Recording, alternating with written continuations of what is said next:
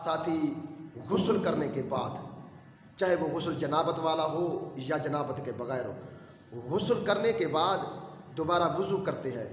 कहते हैं कि मैंने गसल किया है, वज़ू करना है मैं नमाज़ पढ़ता हूँ। भाई, गसल जब आपने कर लिया तो गसल के अंदर वज़ू भी हो गया। गसल के बाद दोबारा वज़ू करने की ज़रूरत नहीं है। गसल वाले वज़ू से आप नमाज़ पढ़ सकते हैं।